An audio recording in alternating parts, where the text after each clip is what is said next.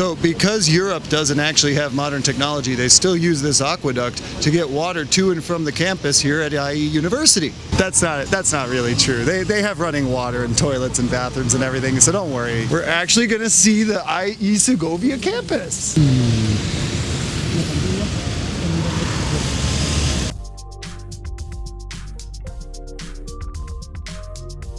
We got a statue Parece el de. with a cell phone Sí. Doing selfies.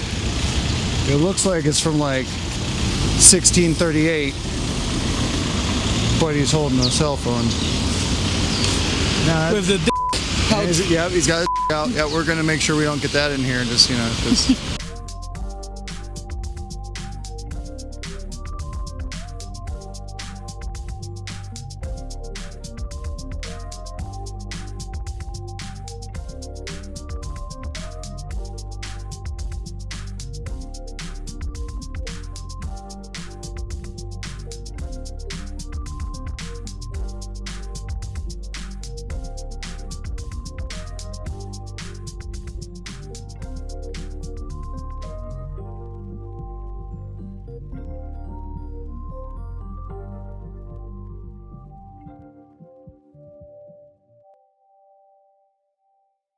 Like, can you actually imagine walking around here and studying here every day? Because this is like, it feels, I feel like I have to whisper.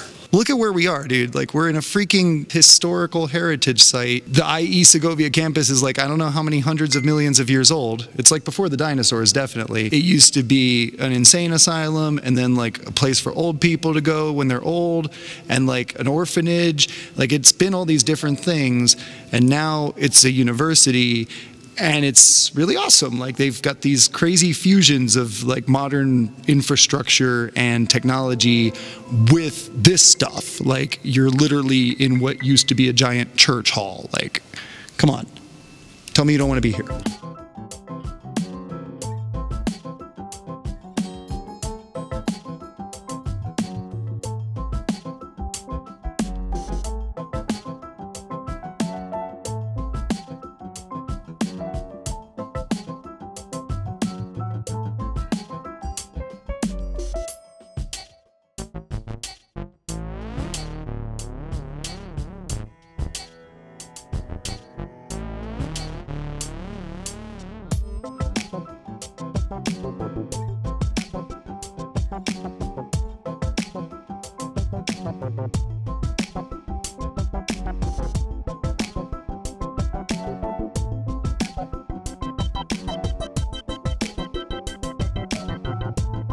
normal university just like every other wall you've ever seen. Segovia.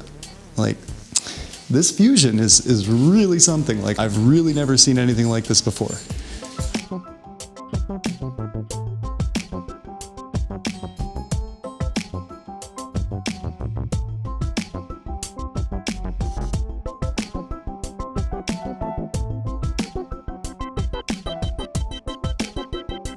Whenever I see these things, I get really excited because it's like if I were going to go to college again, this is probably what I would do. Had no idea they had this kind of technology in this little campus.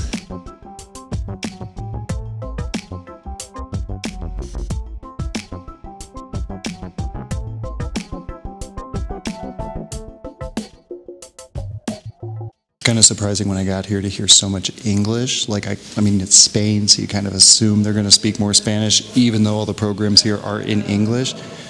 But uh, it's such an international campus, you just have to use English. So you're going to hear a lot of it today. Today, we're going to talk to four students from three different countries two Peruvians, an American, and a local Spaniard to talk to us about their experience at IE. I really think you're going to like these interviews because they've got such different stories and they're all doing different programs. So they all have like a different perspective of this university and what it means to them. So let's go meet our people. My name is Alberto Inope. I'm studying here in a university in Segovia, and I'm in the Bachelor of Economics, also known as BIE. Hi, my name is Catalina. I'm from Madrid and I'm studying here in Segovia, uh, studying architecture first year. My name is Aston Roth. I'm from Atlanta in the United States, and I study second year in the International Relations program here at. IE. Hi, I'm Nicole Uceda. I was born in the US, but I've lived all my life in Peru. My family's from Peru. I study economics. My bachelor is all about mixing economics with mathematics, mixed with programming, which is a really valuable skill for us nowadays. We also have a research part. At university, they have a virtual library, and you can search for thousands of papers, academic papers. Based on that, you can create your own papers. So it's really a research-oriented course. IE gives you a lot of tools that other universities don't.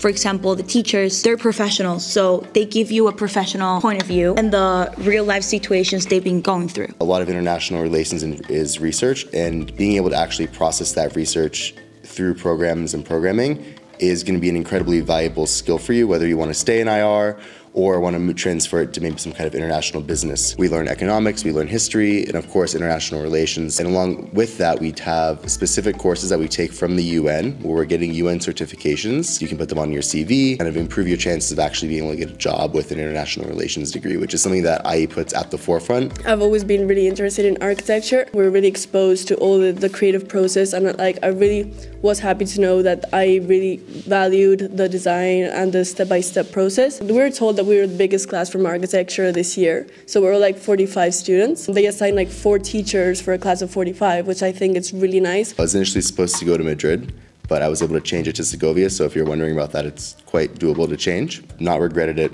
at all. I love being over here. It's a smaller town, and that's actually I really like it because of that. And so instead of like having all these distractions, what you do in your free time is you just hang out with your friends, and so you're able to spend a lot of time with people and create great connections that you wouldn't necessarily be able to make in other places. Segovia is a really calm city, but still it is full of tourism. If you're a tourist, you can just do it in one day. But if you live here, you well, you learn how to appreciate them and to see them every single day and to pass by not as a tourist but as an everyday citizen. You really become a citizen of Segovia. You feel the a sense of belonging. It's not like a really big city like Madrid instead. I've missed my family a lot, but at the same time, here Segovia compared to Madrid, we are so close to each other and you meet people your same situation, overwhelmed and nervous as you. And the nightlife also. What are like the good spots? Where should people go? Oh, the good spots in Segovia probably are Irish, as my friends know. La Mentira, that's like, you know, Spanish music. You go to places where IE students go. You literally are with your friends all the time. I'm really happy here in Segovia. I like I never like thought I would actually like be living here because I've been here many times just for like lunch with my family and stuff. So I always saw it like oh it's Segovia. But once you like really live here and you like spend your time here, I live in a residence as well. So we're like around 35 students in the residence. I spend so much time with all my like friends there. I believe I compared to Madrid where they say it's like basically just like go up to your class you do your class, you do your lecture, and then you just like go down the lift and just go to the subway and go back home. After spending a whole day in the Segovia campus, I truly cannot imagine the IE experience without it. If you're considering IE for your applications, like you absolutely should start in Segovia. And if you want to go finish your career in this amazing Madrid tower, you can. But if you don't start in Segovia, you might miss out on the chance entirely. And honestly, like, it is one of the most unique campuses that I have ever been to. I have never seen a campus that perfectly fuses a historic heritage site with so much modern technology and innovation. And it really opened my eyes to what's possible at IE. And even though I already had a really good opinion about the university, like now that I've been on the campuses, man, like go. Simple as that. They don't pay me to say this, I'm, I'm telling you this is where I would want to go. But speaking of this IE Tower, this is one of the tallest education buildings in the world, and it's located right here in downtown Madrid's financial district. If you want to learn more about the tower, then you should subscribe to the channel because I'm going to publish another video about this specific location and give you a full campus tour and a whole lot more inside information from the admissions office. So until then, I want to give a big thank you to Nicholas for taking the time to help us out with both tours, both Segovia and here at the tower. He was awesome in making all the logistics work. So big thank you to you, Nicholas, and also to all of you guys for watching. So see you next week.